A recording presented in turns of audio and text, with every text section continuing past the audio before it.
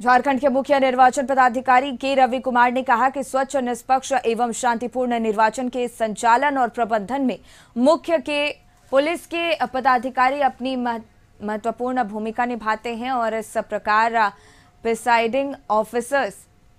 Polling officers के लिए निर्वाचन संबंधी ट्रेनिंग कराई जाती है और उसी प्रकार निर्वाचन कार्य से जुड़े पुलिस के हर एक स्तर तक के पदाधिकारियों के लिए मैनुअल तैयार करते हुए उनकी ट्रेनिंग कराना सुनिश्चित करना है। दरअसल मुख्य निर्वाचन पदाधिकारी राज्य के सभी वरीय पुलिस पदाधिकारियों के लिए आयोजित एक दिवसीय प्रशिक्षण सत्र को रांची के निर्वाचन सदन स्थित सभागार में संबोधित कर रहे थे।